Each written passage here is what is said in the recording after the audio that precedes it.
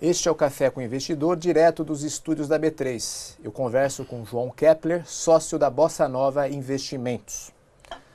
João, nós temos um único quadro fixo no Café com o Investidor, onde eu peço para que o investidor escolha uma empresa na qual ele investiu, para que a gente converse sobre ela e entenda quais são eh, os motivos pelos quais ele investiu. Você tem 400 empresas e não quis fazer uma escolha de Sofia de escolher uma empresa só, você escolheu duas empresas. É a Handtalk, que é de inclusão social, e a Eats for You, que é de comida. Então vamos começar pela Handtalk. O que, que é a Handtalk e por que você investiu nela? Veja, eu podia ter escolhido várias outras. Né? Eu achei interessante escolher essas duas, só porque elas são um pouco diferentes do padrão da, da lógica, para um pouco entender um pouco a lógica de investimento, da nossa lógica de investimento. Bom, a, a Rentalk ela, é uma, ela, ela facilita a comunicação entre surdos e ouvintes. É um aplicativo e uma solução web que é, o aplicativo você fala em português e ele traduz em gestos em língua de sinais em tempo real no aplicativo para você se comunicar com a pessoa que tem uma, uma deficiência auditiva. Então, esse é um, um, um modelo. O outro, esse, esse aplicativo é gratuito. Ele é gratuito. E qual que é o modelo de então, negócio? O dele? outro lado, que é o B2B, que é o modelo de negócio deles, onde o Hugo, que é o personagem, vai para dentro dos sites das grandes empresas e ele passa a comunicar tudo que está em texto para a língua de sinais. E por que isso? Porque a grande 70% do, da, da, dos surdos no Brasil, dos deficientes auditivos, não sabem ler português. Eles não conhecem texto, não conhecem o alfabeto. Eles, eles entendem Libras, foram alfabetizados em Libras. Então, por isso, precisa de um tradutor em tempo real para eles. E aí, as empresas pagam a Rentoc pela, pelo pacote de tradução. E esse negócio vem crescendo absurdamente porque as empresas entenderam que precisam dar acesso, incluir essas é, 6% da população brasileira que tem alguma deficiência auditiva, no acesso à informação, no acesso a conteúdo, no acesso até a bancos, ao Sebrae, a tudo que for para poder ter acesso. Então, inclusive e-commerce. Nós temos o primeiro caso de e-commerce no mundo com inclusão social para surdos, é Magazine Luiza. Ah, eles estão usando? Usando a Rentoc.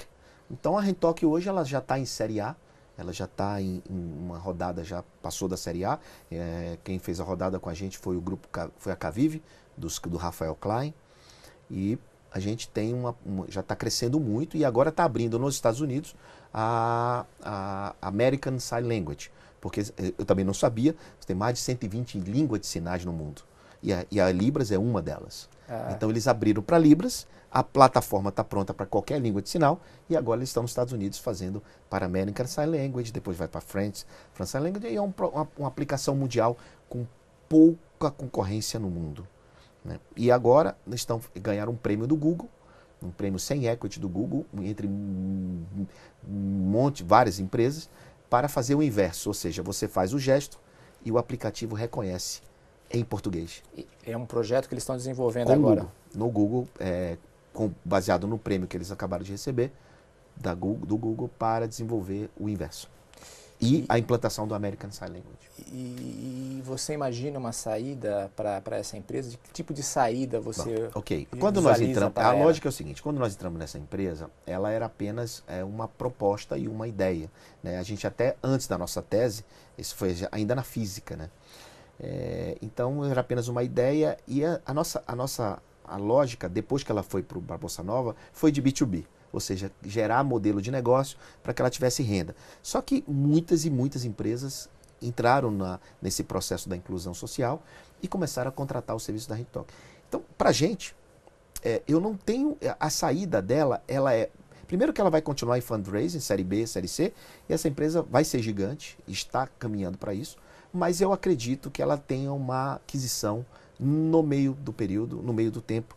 Alguma aquisição vai acontecer, a gente já tem mapeado, obviamente, quem poderia se interessar em ter essa feature de acessibilidade de surdos dentro do seu projeto como um todo. Você citou o Magazine Luiza, que outras grandes empresas estão usando a solução dela? É, Itaú, Bradesco ah, e outras grandes, o próprio BMG, e outros tantos bancos e indústrias e é, portais como pequenas empresas, grandes negócios, é, Sebrae e tantas outras empresas que usam hoje o serviço da Rentoc. Tá.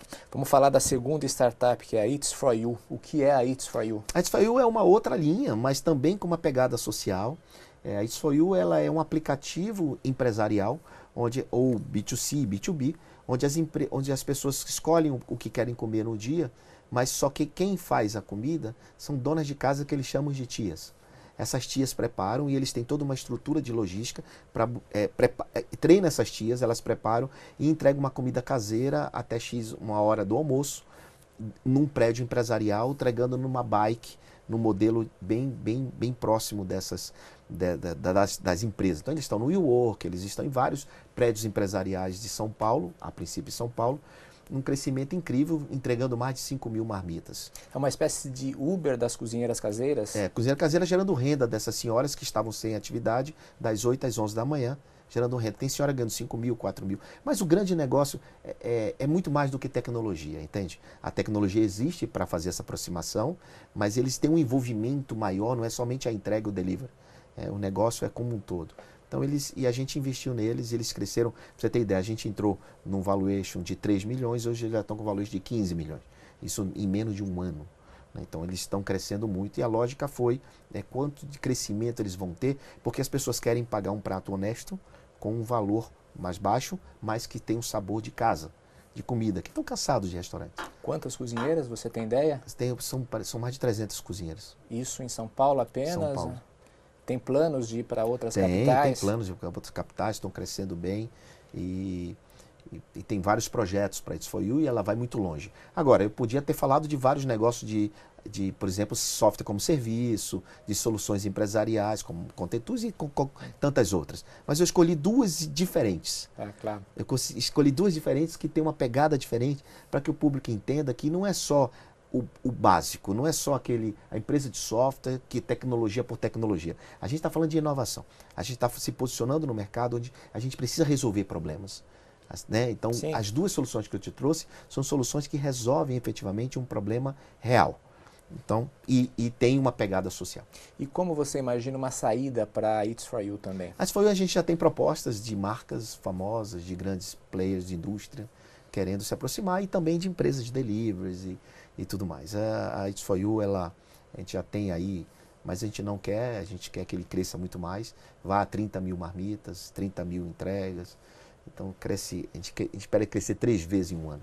Cresceu duas vezes no ano, a gente espera que ele cresça três vezes no próximo ano. Ah, então, obrigado. No próximo bloco, o João vai falar de uma outra faceta do seu lado empreendedor, que é a do escritor.